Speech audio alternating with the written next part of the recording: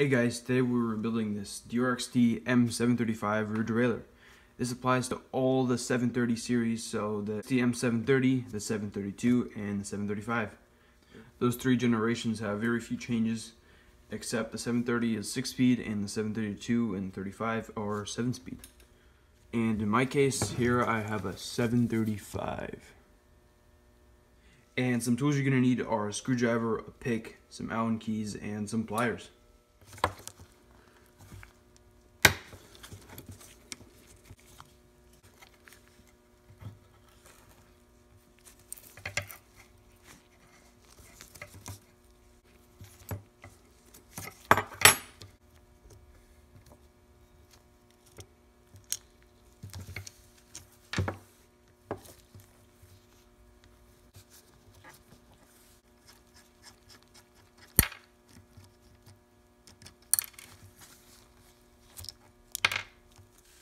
Alright, with the easy part out of the way, let's go do the springs. So first for the B-spring, pull back the cage and unscrew that little pin.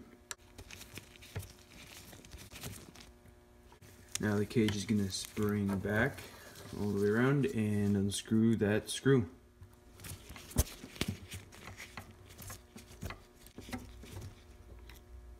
And now the cage pops off.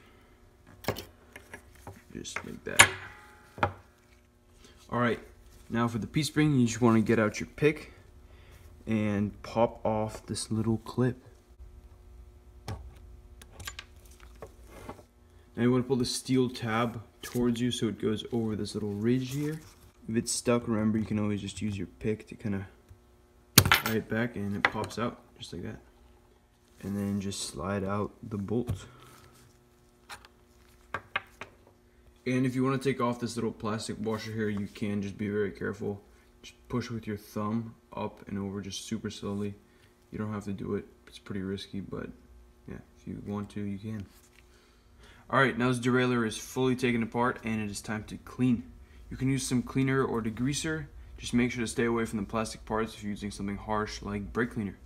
And remember, if anything is rusty, make sure to clean it off first before using Evapo-Rust or metal rescue. Also, if you're wondering what this little screw is here, that is to adjust the cable tension, and there are only two settings, so don't keep turning it. It's not going to do anything. There's just softer and harder.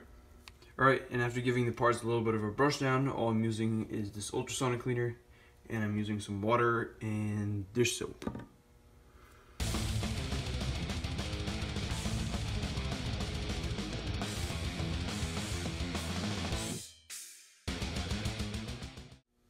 Alright, with all the parts nice and cleaned down, I also gave some of the chrome parts a wax with some of this Quick-Glo.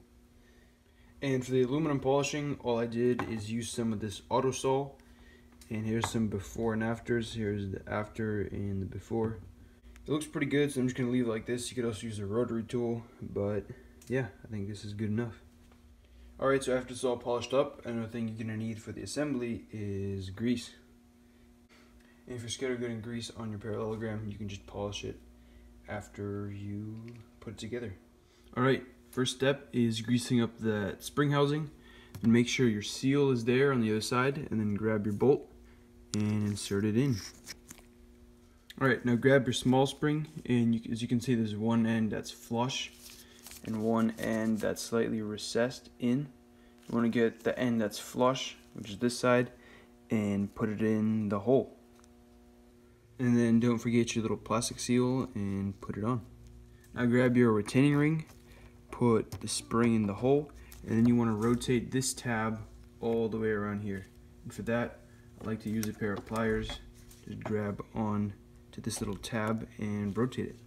Alright, so once you do get that tab in position, grab your little clip and put it on.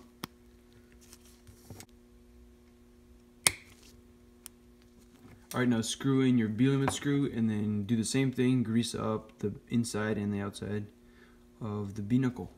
Alright, then you get your plastic seal. You want to put it on and make sure it's under that little golden washer. Alright, now you want to get your spring out and you want to put it in one of these holes. This one right here is the tighter one and the one on the left is the looser one. Make sure you put the long end in and we're going to go with the tighter one. Alright, now when you put on the cage onto the B-knuckle, you want to line up this little pin on the spring with that little hole right in there.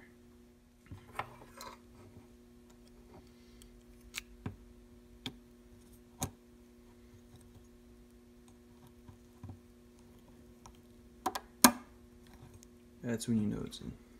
Alright, now that you feel that the cage fully touches down like this with the parallelogram, you can grab your little bolts and screw it in.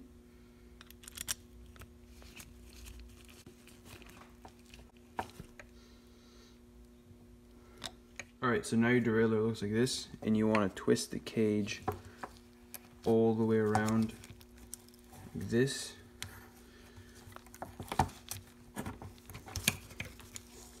Once you see the little hole, screw in the second pin.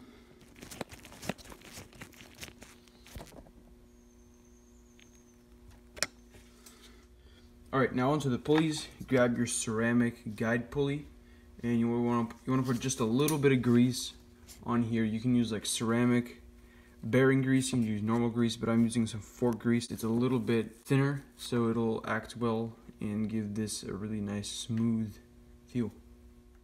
Alright, then go ahead and put in the other ceramic bushing. And on the inside of the second ceramic bushing, you want to put a little bit of normal grease, unlike the different grease you put in between the two ceramic bushings. Alright, and then put this little seals on. Make sure they face outward like this. Then grab the metal seals. And remember, don't put any grease on the actual seals. All it's going to do is just attract more dirt and make more friction. Alright, then go ahead and put all the little bushings on and slide it on.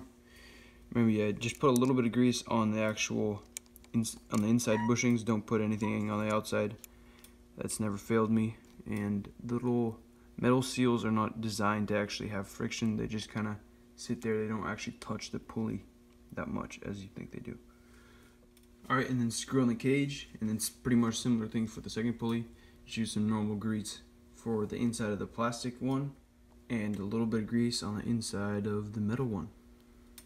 Alright, then screw on the pulley bolts, put on the clamp and the barrel adjuster, and then you got yourself a fully rebuilt derailleur. Now I'm going to show you guys how to adjust the tightness of the parallelogram spring. So this right here with the arrow facing up is the looser setting, and if you flip it over like this, you've got your tighter setting. Make sure to rotate it this direction like that, looser, and tighter. This is a part definitely worth keeping alive. I'm sure it's one of the most bulletproof and reliable derailleurs ever made. So remember guys, if you have an old derailleur, don't replace it, just rebuild it. Don't be afraid to use these old parts. Thanks to anyone who subbed to this channel, and I'll see you in the next one.